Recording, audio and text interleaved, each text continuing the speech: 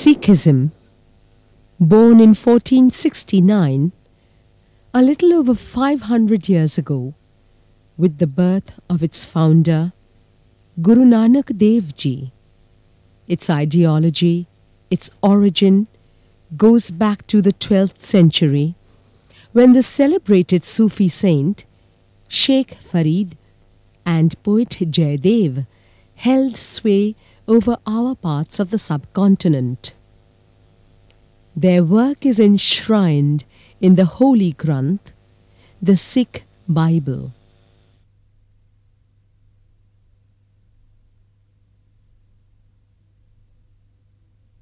A simple faith, Sikhism prescribes Nam, Dan, and Isnan, meditation on God, earning and sharing with the needy, and living a clean life.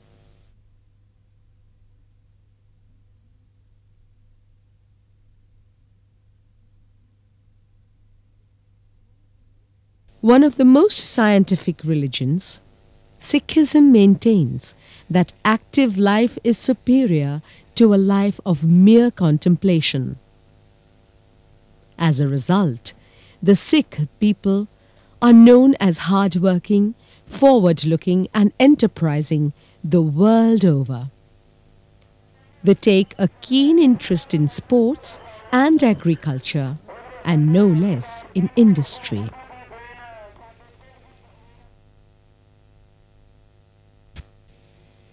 The Sikh faith lays stress on the unity of God. Ik He is but one. Satnam, truth is his name. Karta Purakh. He is the master creator. Nirbhau, he is unafraid. Nirvair, he disdains none. Akal Murat, he is the image eternal. Ajuni, he is beyond incarnation. Saibhang, he is self-existent.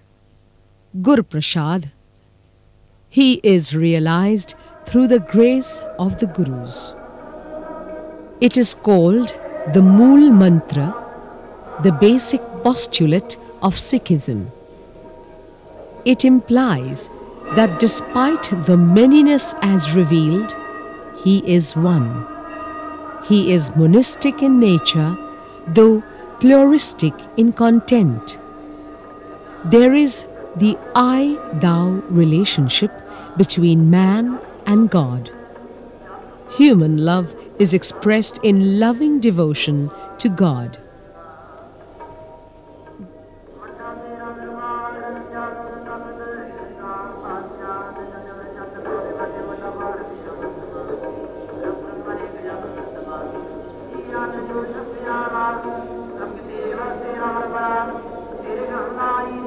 The Sikh concept of salvation is Jivan Mukti. Jivan is life and Mukti is emancipation. The ultimate aim is to be at peace with the human society, and this can be achieved by living a purposeful, true life. Says Gurbani, Hasandya,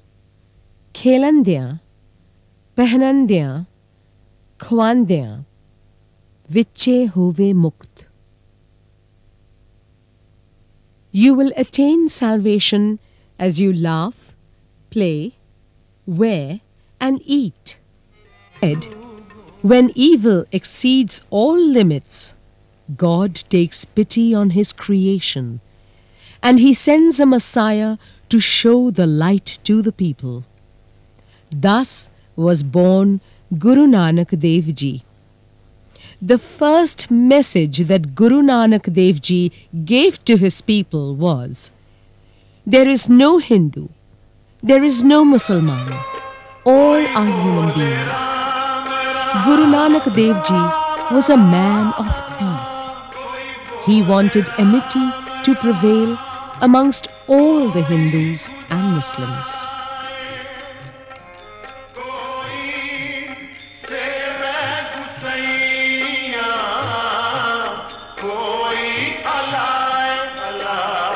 For this, he undertook extensive tours of the length and breadth of the country. He went even beyond the boundaries of India to Mecca and Medina and Baghdad. During these sojourns, he had long discussions with Hindu siddhas and Muslim divinities of the time.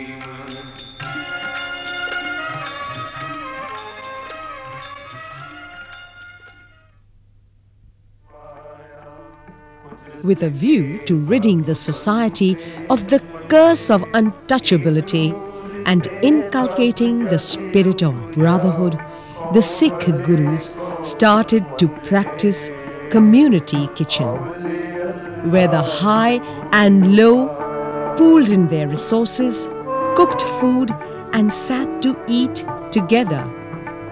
The Sikh gurus insisted that those wishing to meet them to pay homage must first eat in the community kitchen. It is said no exception was made in the case of the Emperor Akbar.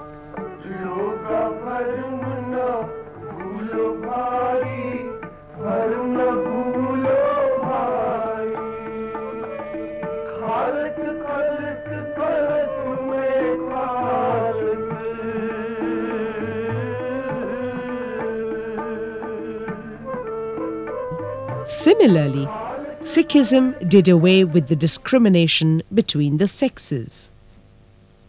Said Guru Nanak Dev Ji, So kyun manda aakhiye jit janame raja? Why treat her as inferior who gives birth to rulers?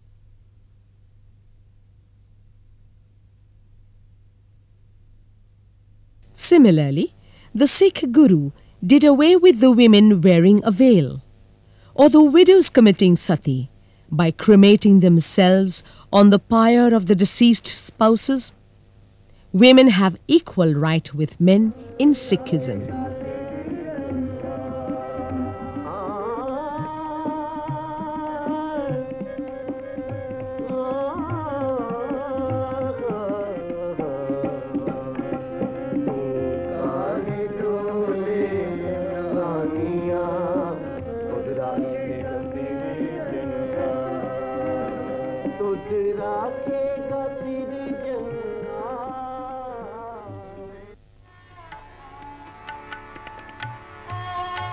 As the community evolved, its distinct identity, the reigning Sikh gurus prescribed specific discipline for the devotees.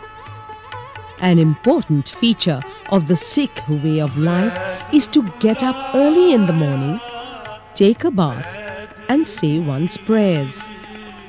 A great deal of stress is laid on congregational prayers, known as kirtan chanting hymns in the company of the fellow brothers. For this, the Sikh called in the Gurdwaras, where Guru Granth Sahib, the Sikh Bible, is respectfully installed.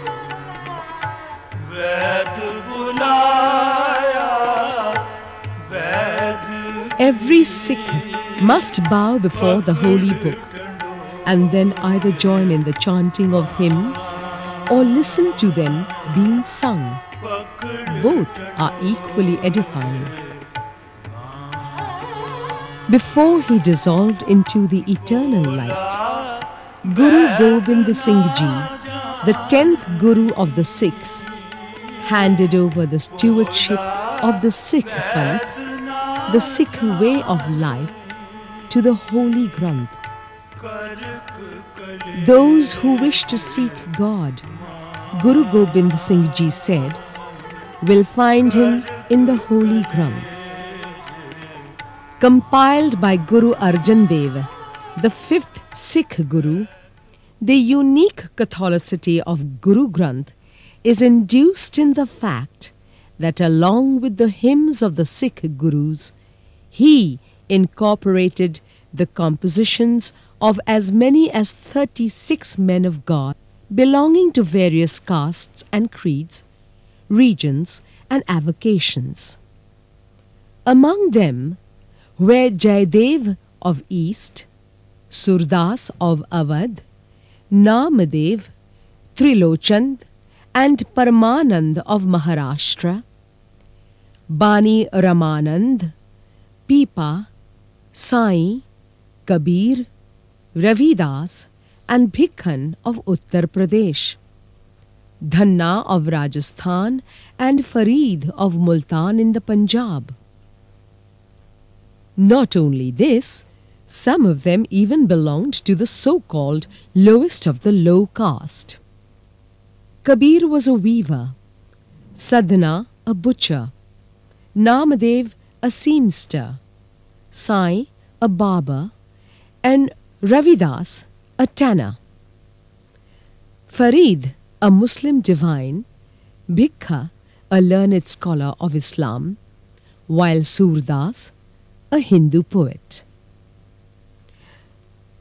The compiler of the Holy Granth did not allow communal or religious distinction to come in the way. The Holy Granth comprises compositions of six Sikh gurus Guru Nanak Dev, Guru Angad Dev, Guru Amar Das, Guru Ram Das, Guru Arjan Dev, and Guru Tegh Bahadur. The hymns compiled in the Holy Granth have been arranged in various ragas according to Hindustani music. The hymns under every musical measure are led by Guru Nanak Dev and other gurus in chronological order. There are approximately 6,000 hymns in the Holy Granth in 31 ragas from Sri Raga to Jai Javanti. The musicians are given utmost respect and importance. Guru Nanak Dev had Bhai Mardana, a Muslim rubab player, as his accompanist. As a literary work, the Holy Granth has some superb pieces of poetic excellence, both from the viewpoint of form and content. The language varies from Sanskrit to Persian to Punjabi, as speakers in their times in the form of various original languages.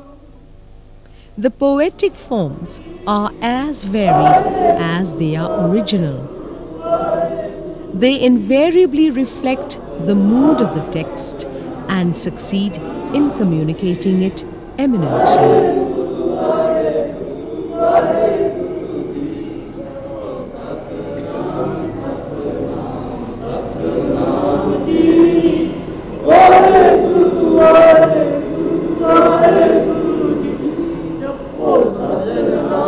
At the end of the day, the Guru Granth Sahib is carried on the head to a room for the rest. And the same is brought in the morning, waving a whisk over it for the daily prayers. The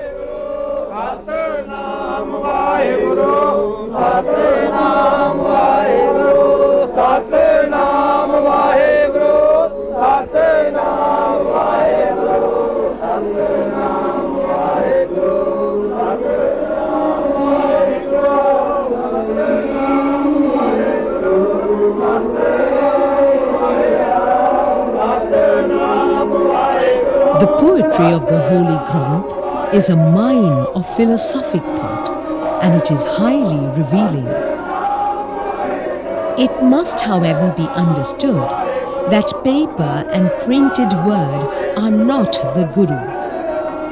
They are only a vehicle, and the Guru is what is contained in it, and what are imbibed by reading the text, the revelation, the vision and the ecstasy.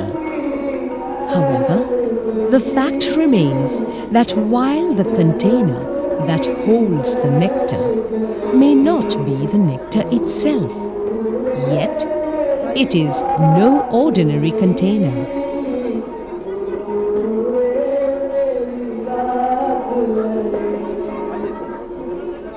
Like other communities the world over, the Sikhs too have evolved their own very way of life.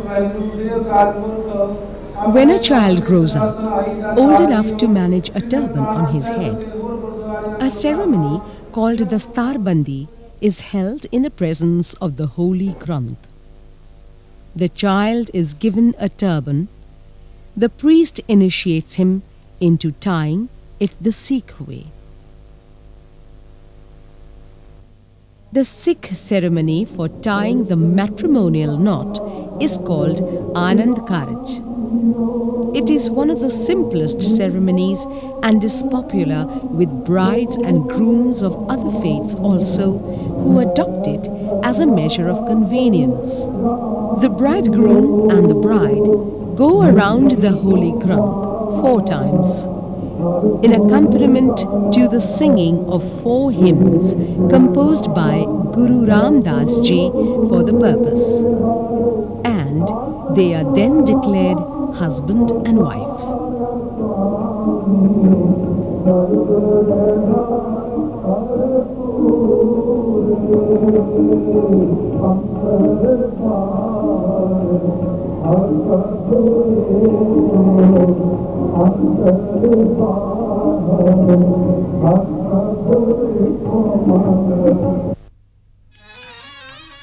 The most sacred ceremony and perhaps the most elaborate is what is called baptism, the Sikh way. Held in 1699 at Keshgarh Sahib at Anandpur, it gave birth to the Khalsa. Every Sikh who is blessed with Amrit or nectar is enjoined to adopt what are called the five Ks. These give a distinct identity to the Sikhs of the Guru.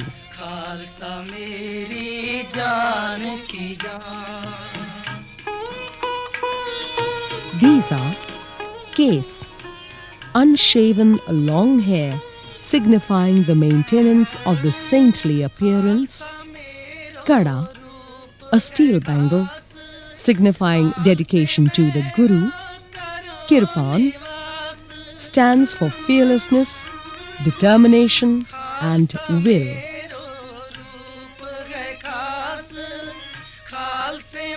Kacha for practice of self control and moderation. And finally, Kanga signifies purity and cleanliness at all levels. A Sikh must come to the rescue of the weak and needy when called upon to do so. And if need be, give his life the way Guru Tegh Bahadur Ji, the ninth Sikh Guru, did when the Pandits from Kashmir sought his assistance.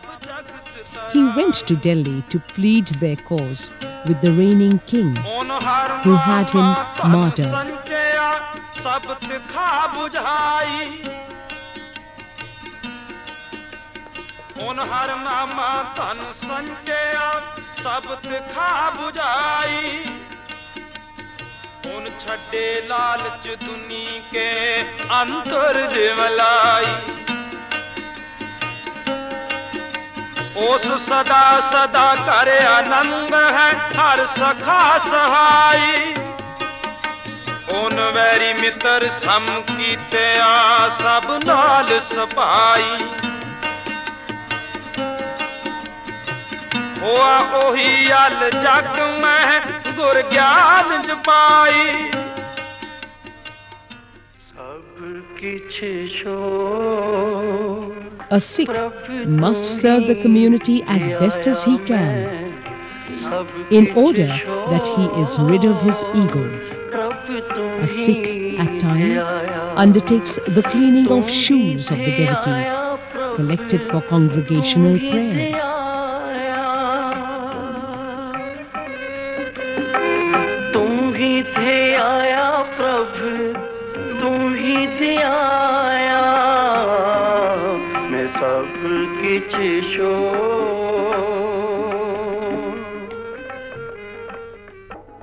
Every Sikh shrine, big or small, must have a Khalsa flag.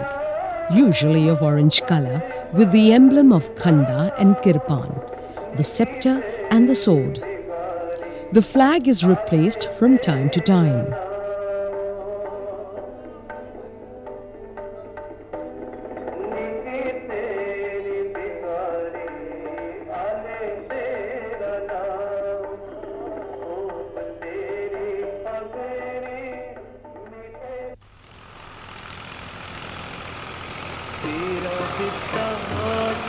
An emancipated community, the Sikhs are mainly agriculturists, big or small farmers, progressing along with the Green Revolution and thriving towards agricultural prosperity and development.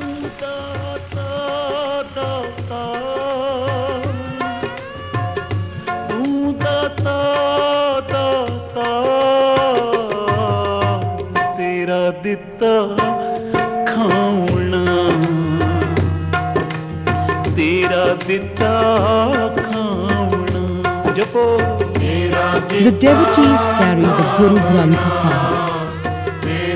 The procession, comprising of thousands of people, is a spiritual journey where the disciples surge ahead with faith, carrying the message of their Guru, handed down from generation to generation. The Guru Granth Sahib becomes the epitome of universal brotherhood and a testament of communal amity.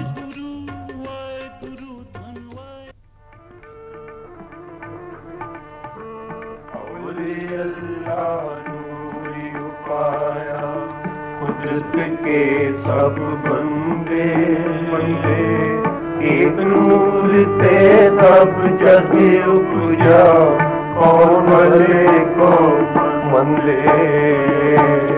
के